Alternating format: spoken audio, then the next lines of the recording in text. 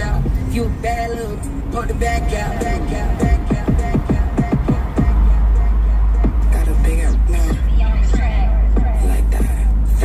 With it, can't be beefing through no FaceTime. Cool with all the thugs, this my nigga told me gang signs, bad, bad. Just be like, where the f your waistline? Body like a porn star, he f me like he fresh out. Could've f your friend, but I heard he got a big mouth. Okay, I don't even know that song, so yeah. But anyway, let's get, let's get, let's get. I'm on my way home from work. And it's after five o'clock, and I feel alright. Party's here on the west side. I don't know where the hell that voice came from, but okay.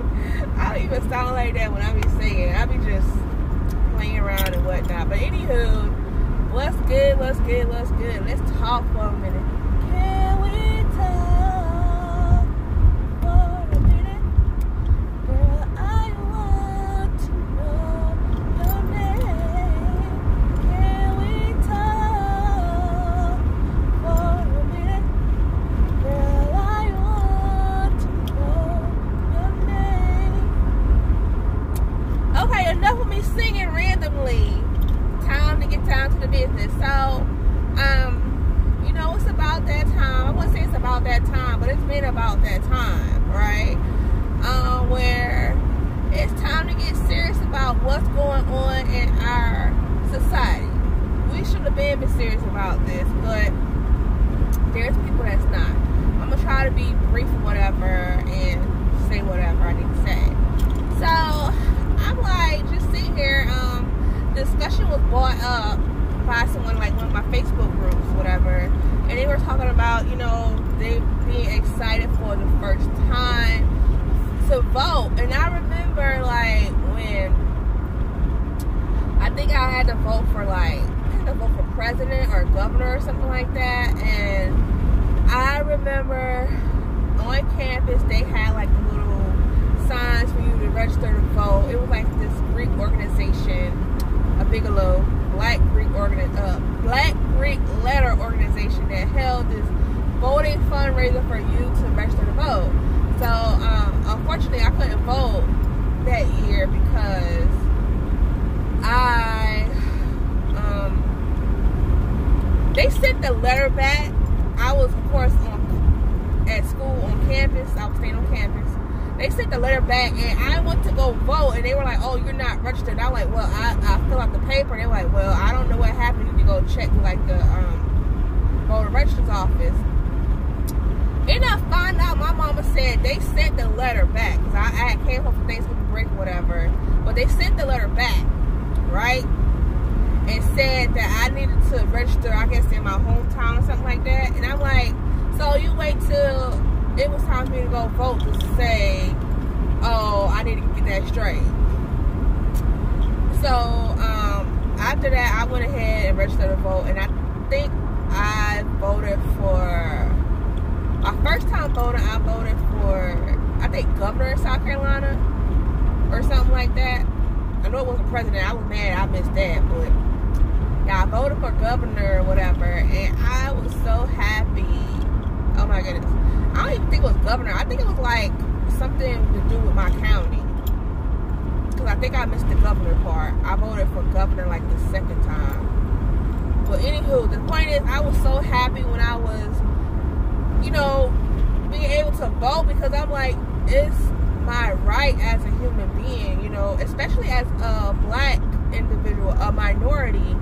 It's my right to be able to select who I think is the most fitting person in office. That's who I think. I mean, some people may think may disagree with me. That's fine. That's why we have, you know, multiple people running for office and stuff. Okay, so I, I get so irritated when I hear about people, especially like a lot of people who is on government assistance, and I'm not trying to knock nobody who is on government assistance. As a matter of fact, that's what I do for a living. Not, you know, on the receiving end or whatever. But um yeah, so like well I, I don't like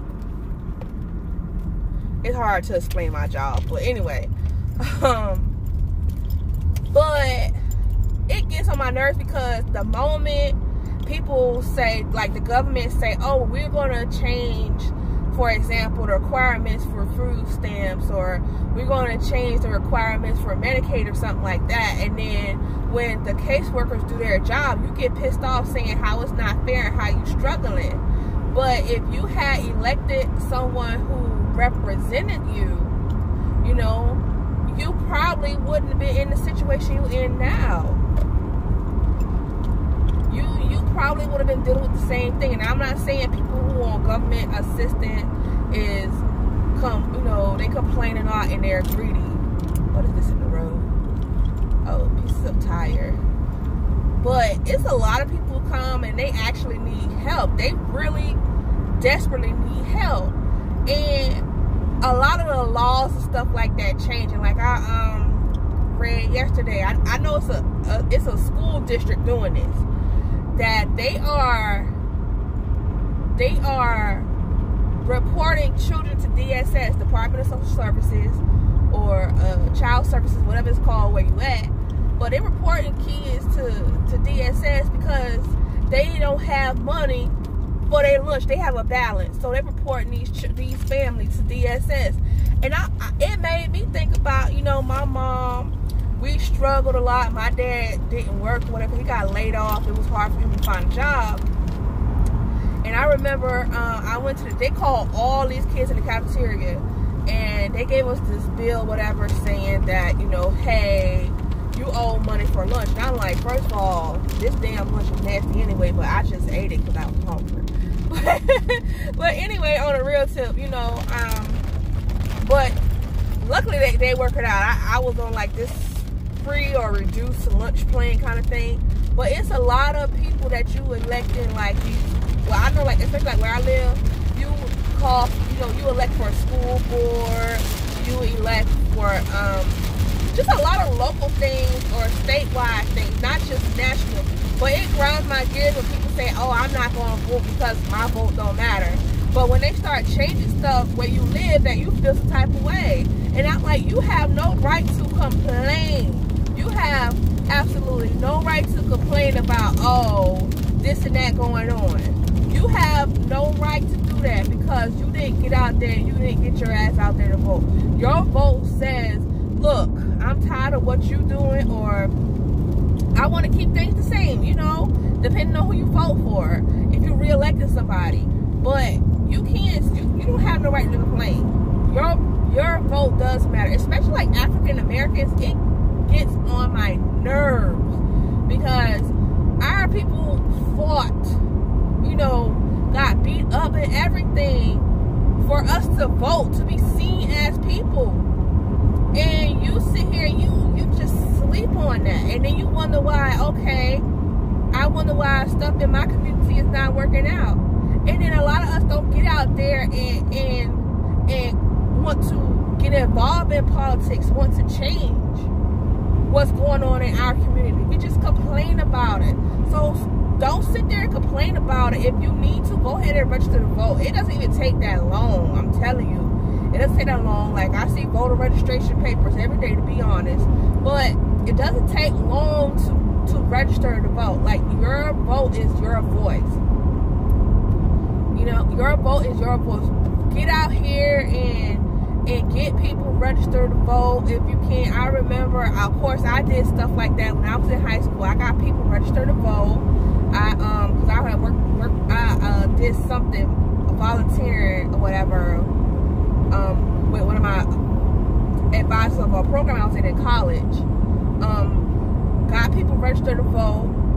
Um, even answer questions or whatever about them having, you know, any question they had about the voting, you know, registering the vote process. Even like I say at work, still do the same thing. Um, it doesn't like it's just one little paper. I mean, it gonna have a paper, of course. Like I don't know how it look in other states. It's a paper. You just put, you know, it says all this little stuff. Next paper, you just write your little address, you know, all the little stuff. That's it. You know, get on your copy of your ID. All good. All good. But don't sit out there and complain about stuff not changing because a lot of the stuff that they do have going on, and I know especially where I live, hey auntie, especially where I live, a lot of stuff they have going on, they sometimes put it in when you go vote. I don't know what's that called, the um, the little voting computer thingy, that thing. Like okay, like for example, I remember we had to vote for I think it was president or something. Yeah, it was president, and they asked about um they asked two things about that in that election. I remember they asked about receiving Medicaid benefits from the federal government, and they asked about marijuana. Should they legalize marijuana? Of course, everybody said yeah to legalizing marijuana, but you know, even though everybody else wanted, the, the people up there could be like, nah, we ain't gonna do it, because you know, of course, there's a lot of people that still look at it as a drug versus, you know, for its uh, medical benefits. Instead of they say, hey, you know, like California and, and all these other states, you know, hey, people who has medical reasons to do this, you can do this. Plain and simple, right? Okay. And I like my brother who did go vote, we was like, yeah, you know, they had they talked about we was talking about how they had, you know, marijuana stuff like that. I said, you, you always on this whole holistic thing, talk about, you know, nature and stuff like that. But when the people like really need you, whatever, you wasn't there because you're saying, oh, my vote doesn't matter. It does matter. Now I know this whole electoral uh, college thing is confusing. Trust me, it is. But it does matter. It does matter especially if you want to sit here and get out these uh, Senate people or these legislators or whatever who've been there since before I was damn it born. okay? If you want to get these people out, get some new fresh meat up in there. If you want change, like you got to vote. You got to get out here. You got to register, man. I'm telling you. It's free. If you need a ride to go vote, let me tell you, uh, I know, especially where I live, I share all the time when they do vote and stuff. They have rides, free rides. The NAACP will come pick you up from wherever you are. Okay, they will pick you up from wherever you are to take you to go vote. And like I say, it, it it's it's not even a whole a long process. It's not even long. Like where I live, my voting um station, they have like I'll say one, two, three. They probably have like five, you know, computer things or whatever. And it's a lot of people where I look. I don't live in like the city, so I live on the outskirts. And it's a whole lot of people where I live at. And I never, I didn't realize that till I went to the fireworks show a couple of years ago, and it was like jam packed on Little Island. But anyway, I went. Um, it's a lot of people, but I'm telling you, you go in there, you you register whatever, and you be like, okay, register out, you know, sign in, show them your ID and your little voting card. You wait a little bit. I'm telling you, it's you know, you go in there, you can select to click everybody. If you you know you have your own Democratic Party. Me, for example, I don't do all that. I'm like, let me see, because some of y'all I don't even know, some of y'all I don't even like. So I'm gonna vote for who I think represents my beliefs. So that's what I'm gonna do. But you have to get out there and vote. It's it's very imperative, okay? It's very imperative for you to get out there, especially people of color. We always sit here complaining and we always want more stuff for us, but we need somebody who gonna represent us. If you feel like, and I, I'm not coming on here to tell you who to vote. You feel like Donald Trump, you know, where would do better for black people, then vote for him. If you feel Bernie Sanders would do better because he wants to um, get rid of school debt, which Lord knows I need because this little school, this little um, public service school teaching thing, 10 years. Anyway, back on stuff, on topic. But, um, if you feel that that person represents you and you you feel that they strongly believe that hey i'm going to make a change i'm doing you know going in blood sweat and tears i'm going hard okay? I'm going hard. Then you you you select that person. Like we ain't all gonna agree who the best person is. People say donald trump is the the the most worst person in the world. Some people think he is heaven sent. Like literally, they they think he was, you know, sent by God to to be our president. But I mean, I don't know. I ain't God, so I can't answer that question. But um, go out there if you have a belief or whatever.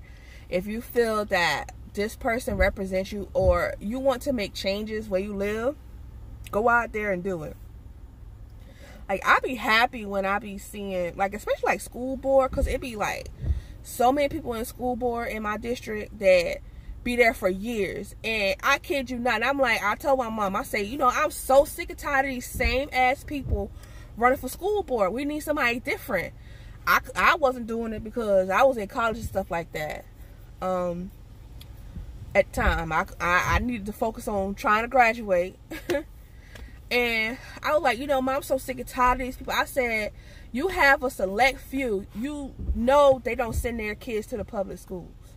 You know they don't even come to the school. They can graduate from the damn school. And they never step foot in the school until it's graduation day when, when they dare to hand out your diplomas. They don't come around and visit the, and see how the kids are going, see what's going on. Because I remember this one lady I remember her, and I I I love her because she, she would always come to the school when I was younger. She would always read to the students, and she was Native American, and she would always tell us about you know her um, parents and stuff. And she was not from our town. And then we had this other lady. She didn't send her kids to our uh to our schools, but she would would always be there. I mean, every single every single year this lady will visit our school multiple times. But then you have people up there that's getting paid doing school board and they don't step foot into the school. Even football games, they don't come. They don't get involved. So I'm like, when somebody else ran, guess what? I vote for that person because I'm sick and tired of it. And I'm sick and tired of it, you know, um, I know how it was when, when I was in school dealing with all the stuff that they did. But anyway, that's just my example of why it's it's important because you can make a change. You can make a difference. Somebody gonna probably get on here, call me all type of uh, fat souls and all type of stuff like that. I don't care because what I'm saying is very important. It's very important. You can get on here talk about all your conspiracy theories. I don't care. I don't care because at the end of the day, regardless of them conspiracy theories and whatever, you are a person and you do matter. You you you pay taxes. You you contribute to this uh e- economic thing we got going on here. You are a person. You live here, and you have to decide when it is when you want to make a change. So that's all I'm going to say. It's hot. Um, it's about to rain and I'm home. So thank you so much for watching. If you like what I have to say, if you don't like what I have to say, either way, God bless you. And make sure you comment, share, and like and subscribe. About to go. Bye.